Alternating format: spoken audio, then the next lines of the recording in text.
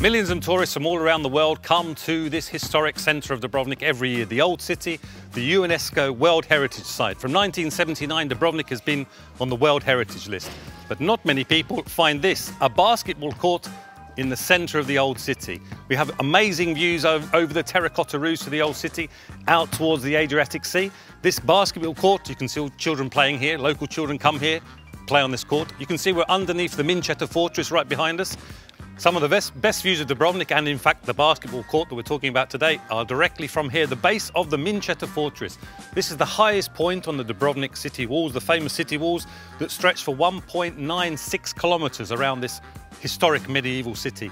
The basketball court, as you can see, is kind of nestled in underneath the base of this Minčeta Fortress. Also, this court was featured in a game, in a PlayStation game, believe it or not, where they played football. Yes, they play football here as well.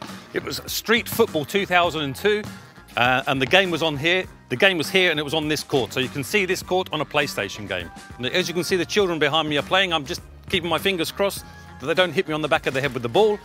Beautiful views, lovely day. This is the basketball court in Dubrovnik.